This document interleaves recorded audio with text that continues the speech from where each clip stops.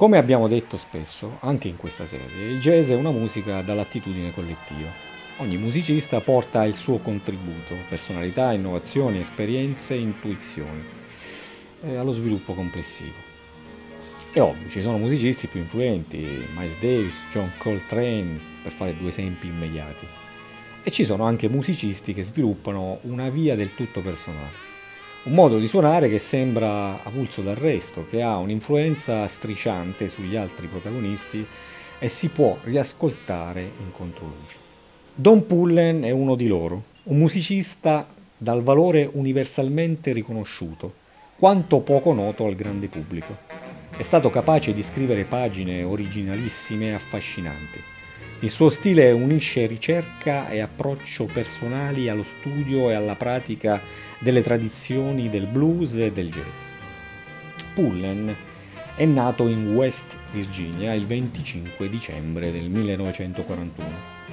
Dopo una formazione classica e le esperienze con i cori e le band che accompagnano le funzioni religiose, ha iniziato a collaborare con i musicisti della scena free a metà degli anni 60 per approdare all'inizio degli anni 70 alla corte di Charles Mingus e registrare Moves e due volumi di Changes. La sua carriera solista comincia con l'uscita dal gruppo del contrabbassista con le prime registrazioni a suo nome, sette titoli dal 75 al 79.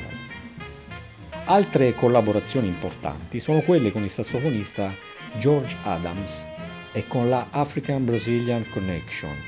Il quartetto a doppia guida con Adams è completato da Danny Richmond alla batteria e Cameron Brown al contrabbasso. È nato in seguito a una tournée da effettuare in Europa per diventare immediatamente una cosa solida per i quattro componenti.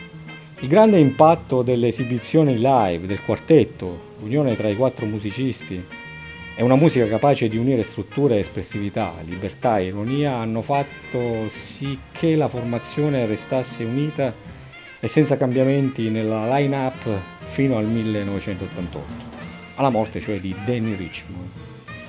Il quartetto ha registrato moltissimi dischi, la maggior parte per etichette europee e gli ultimi due per la Blue Note.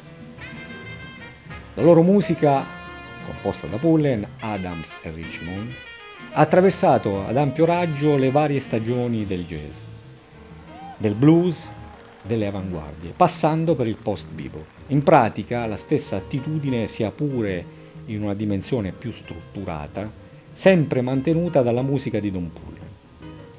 La African Brazilian Connection, fondata nel 1990, è stata invece la formazione con cui il pianista è stato maggiormente esposto alla fama formata da Carlos Ward al sax alto, Nilson Matta al basso e Guillaume Franco e Mort Thiam alle percussioni, unisce jazz, ritmi africani e sudamericani. Pullen è morto a soli 53 anni nell'aprile del 1995.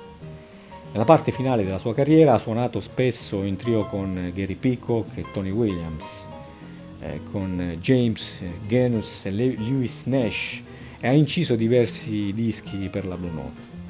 I brani composti da Pullen mantengono sempre un chiaro istinto melodico pur nella forza espressiva del suo stile e nel rigore della sua visione estetica generale. Questo forse è il punto centrale della figura del pianista, la sua abilità nel trovare una sintesi tra le intenzioni personali e i rimandi alle tante espressioni del jazz. Tecnica e cuore uniti in maniera creativa e funzionale eh, in uno stile del tutto unico.